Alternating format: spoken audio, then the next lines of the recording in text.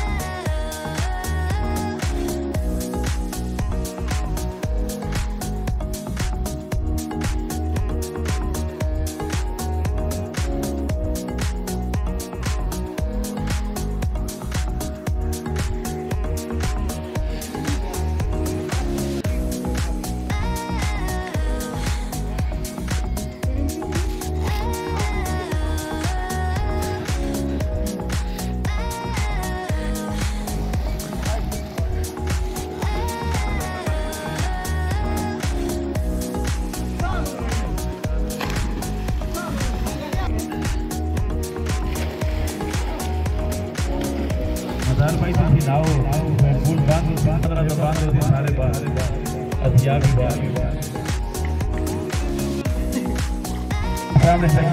छः पंद्रह